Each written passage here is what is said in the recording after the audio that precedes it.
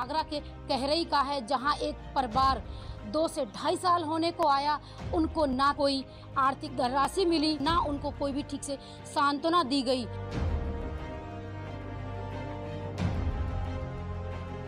तीन दिन से शहीद की वीरांगना का धरना, अपनी मांगों को लेकर जो चल लगातार चल रहा था और समाप्त हो चुका है। नमस्कार, स्वागत है आपका। आप देख रहे हैं प्राइम टीवी और मैं कीर्ति लेकर हाजिर हूँ बड़ी खबर। कहते हैं, किसी भी चीज़ को शिद्दत से पाने की कोशिश करो तो एक ना एक दिन आपको कामयाबी ज़रूर मिलती है। और कुछ ऐसा ही कर दिखाया है प्राइम टीवी ने, जिसने एक शहीद के पीड़ित परिवार को न्याय दिलाया है। दरअसल 14 फरवरी 2019 को पुलवामा हमले में शहीद हुए कौशल रावत की शहादत पर सरकारी मशीनरी के द्वारा कई घोषणाएँ की गई थी, लेकिन करीब ढाई साल बीत जाने के बाद भी शहीद के परिवार को इनकी कई घोषणाओं का कोई लाभ तक नहीं मिला, जिसके बाद शहीद की पत्नी परिवार के साथ सरकारी मशीनरी के से थक हार कर शहीद की प्रतिमा पर धरने पर बैठ गई और फिर शुरू हुआ सरकारी तंत्र के खिलाफ यलगार, जिसमें पीड़ित परिवार का साथ दिया प्राइम टीवी ने। हमारे आगरा के संवाददाता ममता और अमित ने इस पूरे मामले को प्राथमिकता से दिखाते हुए कवरेज भी की और खबर से जुड़ी हर अपडेट को लोगों तक पहुँचाया। प्रशासन के दबाव के बावजूद प्राइम टीवी की टीम ना तो रुकी, ना ही थमी। डीएम से लेकर डेप्यूटी सीएम तक मामले को अवगत कराया गया और आखिरकार आज वो दिन आ गया जब इस मामले पर परिवार की मांगे मानी गई। अपर जिलाधिकारी नगर खुद शहीद के परिवार से मिलने पहुँचे और परिवार को पैंसठ लाख सत्तावन हज़ार का चेक सौंपा गया है। वहीं पूर्व में की गई सभी घोषणाओं को पूरा करने का वादा भी किया गया है, जिसके बाद अब शहीद की वीरांगना ममता रावत ने धरना समाप्त कर दिया। तो प्राइम टीवी की खबर का बड़ा असर, और हमें भी खुशी हो रही है ये खबर बताते हुए, क्योंकि कहीं ना कहीं हमने एक वीरांगना की मदद की है और मदद की है उन्हें, वो तमाम उनका जिस पे हक बनता है, वो तमाम योजनाओं से उन्हें अवगत कराने का और लाभ पहुँचाने का। साथ ही साथ जो राहत कोष राशि है, जो उन्हें दो साल से ज़्यादा का वक्त बीत जाने के बाद भी नहीं प्राप्त हो रही थी, वो भी हमने उन्हें दिलाने में मदद की है।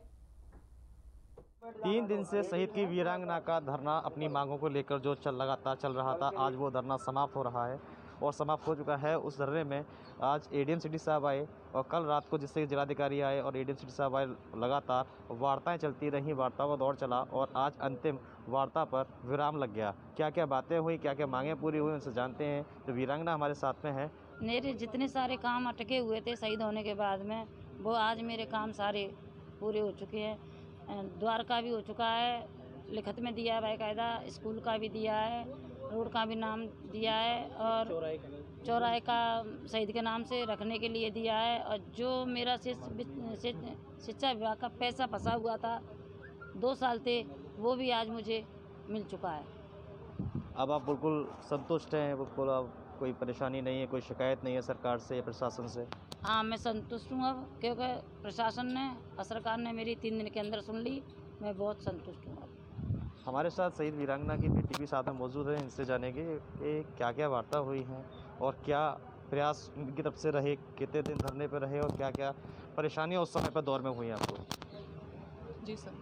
क्या क्या परेशानी जब थे धरने पर तो क्या क्या परेशानी सर परेशानी तो थी मम्मी की तबीयत भी थोड़ी बहुत ख़राब रही बीपी का प्रॉब्लम है उनको थोड़ा सा शुगर का भी था। पर हम खुश हैं कि धरना हम समाप्त करें और हम बहुत खुश हैं कि डीएम साहब मतलब प्रभु सर ने जो काम किया है वो बहुत कम लोग कर पा रहे हैं कि 24 घंटे के अंदर उन्होंने जो भी जो भी सारे काम थे, उन्होंने लिख कर दिया कि 48 घंटे में ये काम हो जाएगा 16 19 अप्रैल से 19 जुलाई जुलाई से ये काम चालू हो जाएगा। चेक भी उन्होंने within twenty four hours में जो पैसा हम दो साल से भाग रहे थे, जिसके लिए उन्होंने 24 घंटे के अंदर करवा दिया ये ये दिखाता है कि एक एक एडमिनिस्ट्रेशन पर्सनल की और ऑफिसर की पावर क्या होती है, वो क्या से क्या कर सकते हैं। ये बहुत बड़ी चीज़ है, उन्होंने बहुत अच्छा काम किया, इसलिए।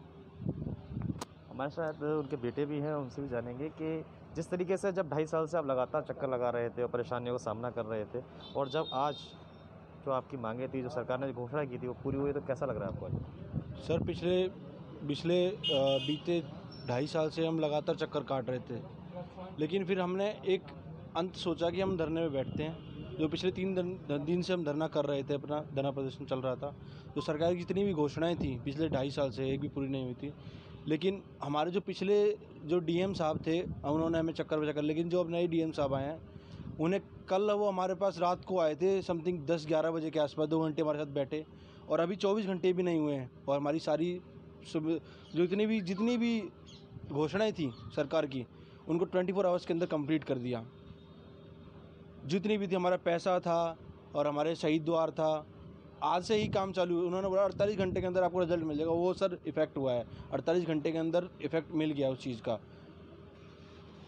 प्राइम टीवी ने लगातार शहीद की वीरांगना को न्याय दिलाने के लिए मुहिम चलाई थी। उस मुहिम का आज अंतिम दिन है। शहीद की वीरांगना की जो घोषणाएँ सरकार द्वारा उस समय की गई थी, वो सारी घोषणाएँ आज पूरी कर दी गई हैं। शहीद का परिवार संतुष्ट है। शासन और प्रशासन से अब उससे कोई शिकायत नहीं है। आगरा से अमित शर्मा प्राइम टीवी तो लगातार हम आवाज़ बुलंद कर रहे थे। वीरांगना ममता रावत की तरफ़ से और हमने कोशिश पुरजोर की थी और उस कोशिश की जब सफलता प्राप्त होती है तो खुशी कुछ और ही होती है। तो आपने भी देखा कि ममता रावत के, को हर वो चीज़ें मुहैया कराई जा चुकी हैं। लगातार हमारे संवाददाता ममता भारद्वाज और साथ ही साथ अमित जो है, वो लगातार कोशिश कर रहे थे कि इस खबर को प्रमुखता से दिखाया जाए। तो हमारे साथ दोनों जुड़ चुके हैं। अमित भी हमारे साथ मौजूद है स्मारक से। साथ ही साथ हमारी संवाददाता ममता भी जुड़ी हुई है। शहीद के परिवार के साथ वो भी वहाँ पे मौजूद है। तो चलिए दोनों से बात करते हैं और जानने की कोशिश करते हैं।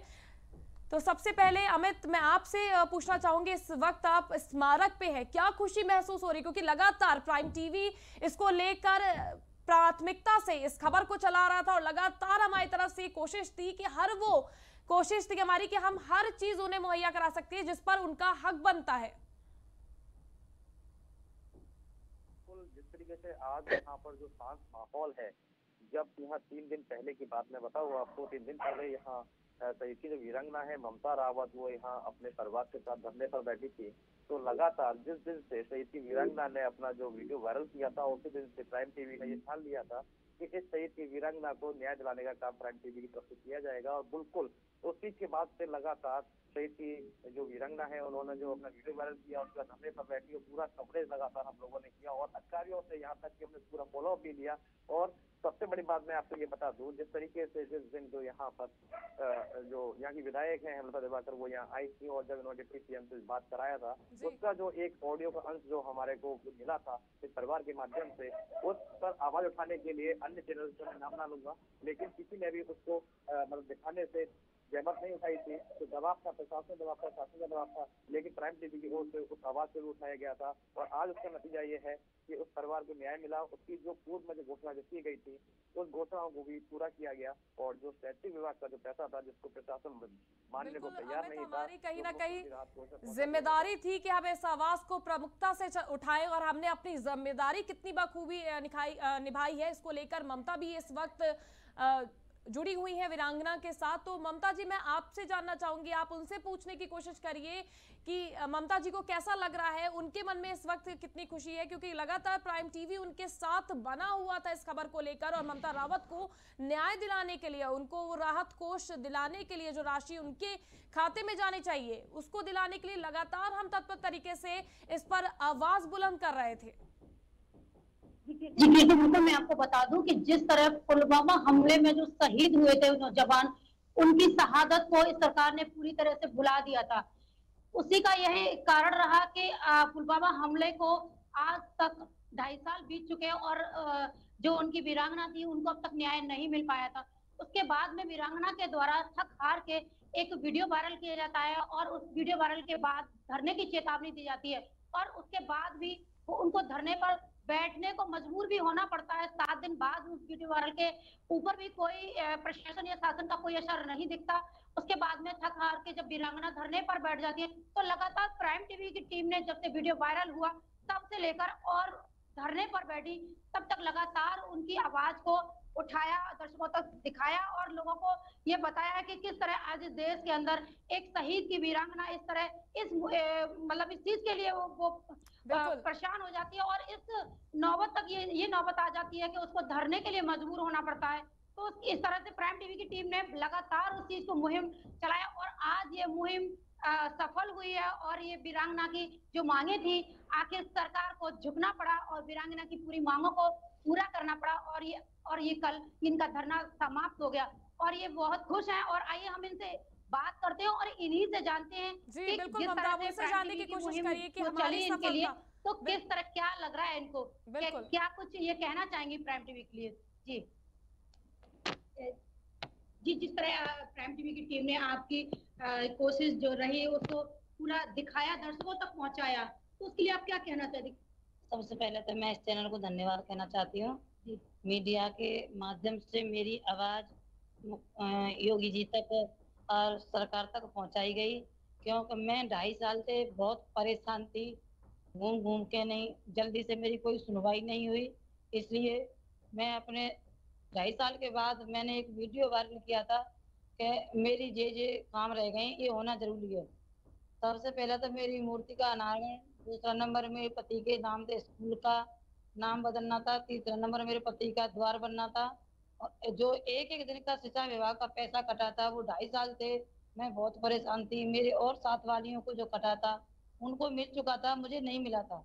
तो मुझे शिक्षा विभाग द्वारा एक लेटर और ड्राफ्ट प्राप्त किया गया था। जब मेरे पास सबूत आ गया था तो मुझे थोड़ा सा मज़बूत हो गई। जब मैंने ये आवाज़ उठाई कि ये हक या तो मुझे मेरा दिया जाए। नहीं मैंने ये भी बोला था कि अगर मुझे नहीं मिलता है तो उनका उन टीचर विभाग को दिया जाए। क्योंकि इस चक्कर में कि मेरे शहीद की नाम शहादत के पीछे ये पैसा कटा था तो मुझे बड़ा दुख होता था कि वो पैसा मुझे मिला नहीं है सरकारी खाते में चला गया है। तो मेरे पति का ममता कहीं ना कहीं शहीद की वीरांगना से मैंने भी जुड़ने का जुड़े थे हम भी और उनसे जानने की भी कोशिश की थी कि किस तरह की तकलीफों से वो जूझ रही थी और हमने इस आवाज़ को बुलंदी के साथ उठाया था कि नहीं उन्हें इंसाफ मिलना चाहिए और जो राहत कोष बेसिक शिक्षा विभाग के द्वारा जो हज़ार रुपए की दान राशि किया गया था सम्मान के तौर पर शहीद की वीरांगना के लिए वो राहत कोष में सीएम योगी के तो पहुँचा था लेकिन उन तक नहीं पहुँचा और उनकी पीड़ा को मैंने सुना था मैंने समझा था कि वो किस दर्द से ढाई साल से वो इस पीड़ा से गुजर रही थी कि उनको वो राहत कोष की राशि नहीं मिल पा रही है। स्मारक तक नहीं बनवा के दिया जा रहा है, जिस पर आज तक भी चद्दर चढ़ी हुई थी। तो क्या अब वो वो स्मारक को एक बार फिर से खोल देंगी? इसको लेकर क्या वो चाहती है कि कोई बड़े नेता भाजपा के वहाँ पहुँचे स्मारक पर शहीद की? क्या मांगे हैं उनकी अभी? जी, बिल्कुल कीर्ति मैं आपको बता दूँ कि स्मारक की जो अनावरण की जो बात है, उसको लेकर के वो किसी अब बीजेपी की जो लीडर है उनको नहीं चाहती है कि वो उनके किसी बीजेपी की लीडर से उसका अनावरण कराया जाए जिस तरह की मेरी उनसे बात हुई। और वो चाहती है कि किसी सैनिक जो सैनिक अधिकारी है उनके द्वारा ही उस प्रतिमा का अनावरण किया जाए। क्योंकि उनके जो पति का जो मज़ाक बनाया भाजपा के जो डिप्टी सीएम दिनेश शर्मा जी ने तो उसको लेकर ही वो बेहद नाराज़ दिखी थी। जी। बिल्कुल अमित आप भी लगातार जुड़े हुए हैं और जिस तरह से नाराज़गी देखने को मिली और ममता ने जिस तरह से बताया कि कहीं ना कहीं वो शहीद का अ, स्मारक का जो अनावरण है वो तक नहीं कराना चाहती किसी नेता से क्योंकि ढाई साल जो वीरांगना इस हद तक परेशान हो गई कि उन्हें मदद तक नहीं दी गई। जो उनके हक के पैसे थे जो उनके हक की चीज़ें थी वो उन तक मुहैया नहीं हो पाई। जी, बिल्कुल मैं बता दूँ, जिस तरीके से वीरांगना ने जो ये अपना कदम उठाया है कि वो भाजपा के किसी नेता से उसका अनावरण नहीं कराएँगे, उसका एक सीधा सीधा एक उदाहरण ये जाता है जिस तरीके से डिप्टी सीएम द्वारा फ़ोन पर जब वार्ता होती है वीरांगना से तो बोल देते हैं कि इस जहाँ आप जगह मांग रहे हैं वहाँ आपकी जगह की कीमत बहुत ज़्यादा है। तो ये एक तरीके से शहीद का अपमान है शहीद की शहादत का अपमान है। तो इसको ही वो अपने इस, अपमान को वो भूल नहीं पा रही है जिस कारण से उन्होंने अब ये फैसला लिया है कि अगर मैं शहीद की जो मेरी प्रतिमा है इसका जो अनावरण मैं कराऊँगी वो अपने किसी सैन्य अधिकारी से कराऊँगी जिस डिपार्टमेंट में उनके जो शहीद जो हुए पति थे वहाँ से वो किसी अधिकारी को बुला के उसका अनावरण कराएँगी। जी बिल्कुल। हमने इसमें भागीदारी निभाई है और बहुत बड़ी भागीदारी निभाई है और उनको कहीं ना कहीं उनकी राहत कोष राशि, साथ ही साथ स्मारक का अनावरण जल्द होगा और उनका जो धरना था वो भी समाप्त हो गया। इससे बड़ी खुशी की बात हमारे लिए कोई हो ही नहीं सकती। ममता, क्या कहना चाहेंगी आप? क्योंकि लगातार आप बनी हुई थी, उनके परिवारों का हालचाल जान रही थी। डेप्यूटी सीएम दिनेश शर्मा जब आगरा दौरे पर थे, तब आपने उनसे भी बात करने की कोशिश की। आपने सुबह शाम दिन रात नहीं देखा और आपने एक कर दिया कि कहीं ना कहीं वीरांगना ममता रावत को प्राइम टीवी को और आपको इंसाफ दिलाना है और हमारी हमेशा कोशिश भी रही है कि हम एक परिवार से जुड़े हुए हैं और ये जनता हमारी परिवार है और अगर उनको तकलीफ़ होती है तो बेशक हमें भी तकलीफ़ होती है। जी बिल्कुल जिस तरह की प्राइम टीवी ने ये मुहिम चलाई कि ये जब जब इनका वीडियो वायरल हुआ तब से लेकर अब तक काफ़ी प्रशासन का भी हम लोग के ऊपर दबाव रहा लेकिन हम लोगों ने कोई प्रशासन के दबाव को या राजनीतिक दबाव को ना मानते हुए हमने सच्चाई का साथ दिया और जो हमारा जो कर्तव्य था, हम उस कर्तव्य के ऊपर डटे रहे और उस मुहिम को हमने लास्ट तक जो शहीद की वीरांगना थी, उसको न्याय दिलाकर ही दम ली, सर।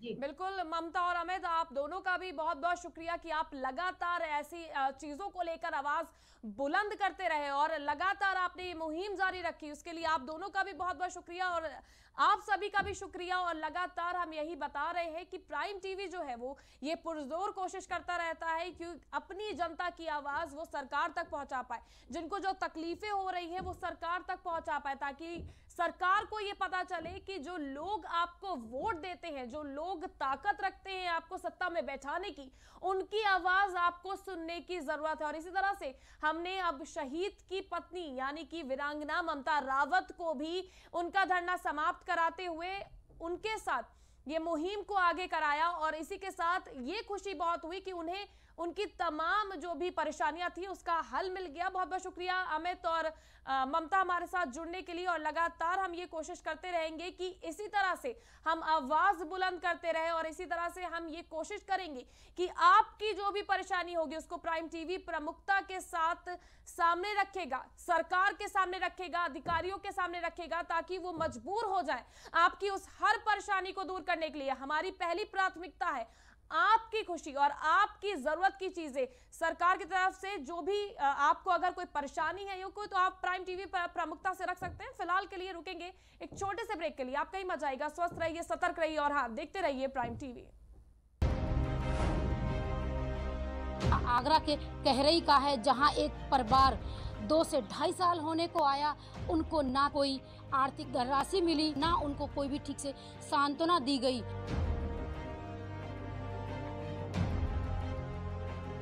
तीन दिन से शहीद की वीरांगना का धरना, अपनी मांगों को लेकर जो चल लगातार चल रहा था और समाप्त हो चुका है।